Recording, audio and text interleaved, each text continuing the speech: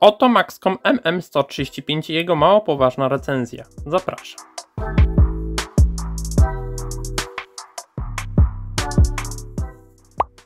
Telefon posiada wyświetlacz TFT o przekątnej 1,77 cala i rozdzielczości 128 na 160 pikseli, co daje średnią zagęszczenia 116 pikseli na cal. Wyświetlacz jest stosunkowo jasny, ale ma bardzo słabe kąty Zastosowano tutaj chipset SC6531E. Pojemność budowanej pamięci wewnętrznej, jak i RAM nie jest do końca znana, ponieważ na stronie producenta jest przekaz o 4 GB, a na e, MGSM jest przekaz o 32 MB, co wydaje mi się bardziej prawdopodobne. Producent zdecydował się również na obsługę kart microSD do pojemności 32 GB. Bateria 600 mAh, która pozwala na utrzymanie telefonu 2 tygodnie czasu czuwania i około 2-3 dni rzeczywistego dosyć intensywnego użytkowania. Baterię naładujemy przez port micro USB. Bateria jest bliźniacza do modelu MM134. Telefon został wykonany ze średniej jakości plastiku. Plecki są wykonane z plastiku średniej jakości, nie palcują się, ale już widać na nich delikatne rysy. Sam ekran szybko się palcuje, ale w tej cenie takie mankamenty można wybaczyć. Telefon ma zaledwie 11 cm długości, niecałe 5 cm szerokości, co przy wadze 68 g sprawia, że jest on poręczny i mieści się do każdej kieszeni. Telefon obsługuje sieć w technologii 2G 900 i 1800 MHz, a dzięki Dual SIM możemy włożyć dwie karty SIM, jedną standard SIM, a drugą zaś w standardzie micro SIM. Telefon trzymał stabilny zasięg, a jakość rozmów jest akceptowalna.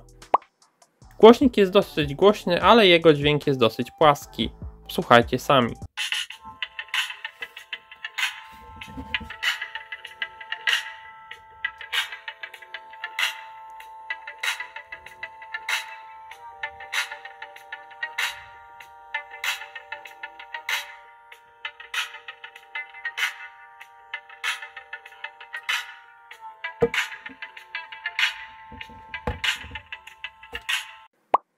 Na tyle telefonu znajdziemy aparat o matrycy 0,08 megapiksela, który pozwala na zrobienie zdjęć w jakości 480 x 640 pikseli i posiada czterokrotny zoom cyfrowy oraz opcje takie jak efekty, jasność i balans bieli. A także pozwala nagrywać wideo w jakości 320 x 240 pikseli w 60 Hz. Oto zdjęcia z aparatu bez zoomu, zoom dwukrotny, zoom trzykrotny, zoom czterokrotny. A tutaj macie nagranie wraz z dźwiękiem. Test kamery i mikrofonów Maxcom MM135. Bez zoomu. Zoom dwukrotny. Zoom trzykrotny. Zoom czterokrotny. Nie bez przyczyny pomijałem pewne kwestie, bo mówimy je teraz. Pierwszą z nich będzie ładowarka, która jest w zestawie. Znajdziemy ładowarkę o mocy 2,75W, co w obecnie wydawanych smartfonach zazwyczaj dodatkowo trzeba ładowarkę dokupić.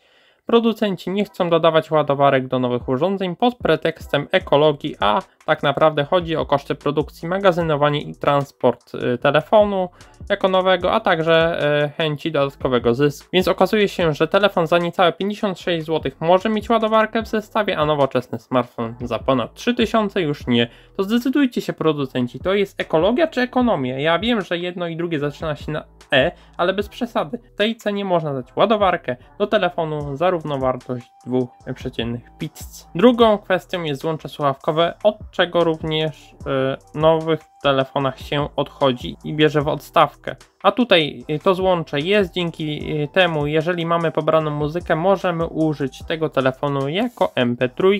Trzecią kwestią, często pomijaną, jest radio FM. Ja wiem, że mało kto z Was już z tego korzysta w telefonie, ale ja na to zwracam uwagę i ubolewam, że w nowych telefonach już tego po prostu nie ma i producenci nie stosują.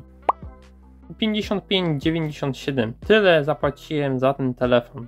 Czy żałuję? Odpowiedź brzmi nie, bo jako zapasowy telefon nie ma sobie nic do zarzucenia, a kupiłem go tylko na jeden dzień, dlatego że zapomniałem swojego telefonu, a musiałem pilnie zadzwonić i napisać SMS-a. A telefon robi co ma robić, czyli można z niego napisać SMS-a czy zadzwonić. I myślę, że to jest wyważona cena za tego typu sprzęt. Dla kogo jest ten telefon? Dla mało wymagających seniorów, Uważam, że telefon spisałby się również świetnie w firmie, gdzie jest potrzebny sporadyczny kontakt z pracownikiem lub też jako odtwarzacz MP3. Dajcie znać, co sądzicie o tym telefonie i o takim filmie, bo nie ukrywam, troszkę eksperymentuję ostatnio na kanale i mam nadzieję, że jest widoczna poprawa jakości ostatnich filmów. Jeżeli masz pytania dotyczące internetu mobilnego, światłowodu, wyboru oferty slash urządzenia, napisz je w komentarzu na maila tenodneta.gmail.com, wiadomości prywatne na Facebooku, tenodnet na Instagramie, tenodnet.pl lub Twitterze. Linki są oczywiście w opisie. Jeżeli film Ci się spodobał, zostaw łapkę w górę i subskrypcję. Cześć!